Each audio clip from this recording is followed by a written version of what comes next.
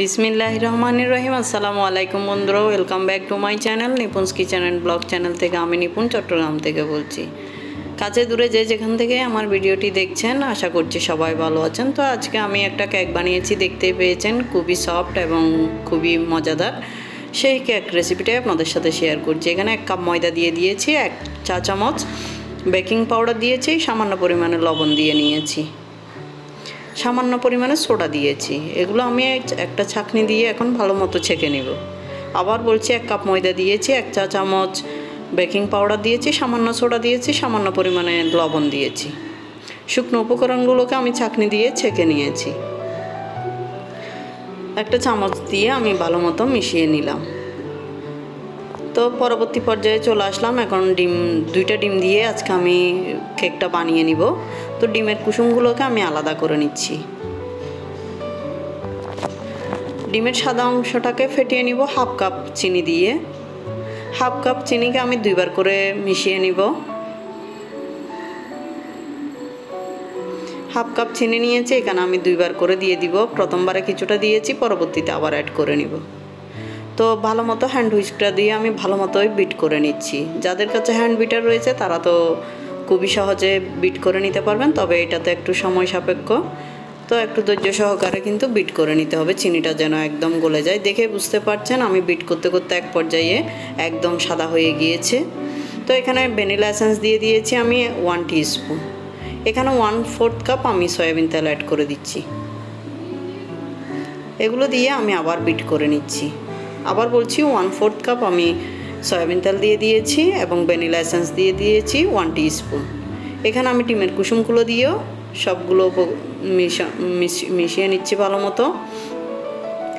এখানে আমি যেই ময়দার মিশ্রণটা রেডি করেছিলাম, সেটা দুইবারে আমি ডিমের সাথে মিশিয়ে নিব।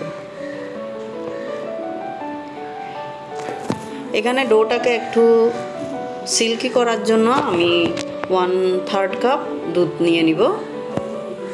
তো দুধটা আমি দুইবার করে মিশিয়ে নিব ফ্রেন্ড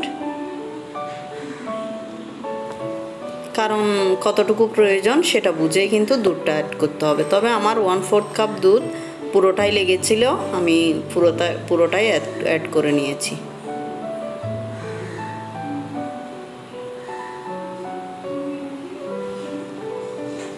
তো দেখে বুঝতে পারছেন, খুবই সিল্কি এবং খুবই স্মুথ একটা ডু রেডি করে নিয়েছি।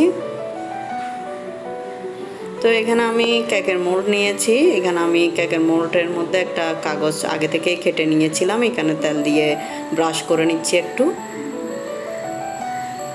এখানে যে কোনো কাগজেই দিতে পারবেন। আমি কাতার কাগজ ব্যবহার করেছি। তো ডোটা আমি দিয়ে দিয়েছি ফ্রেন্ড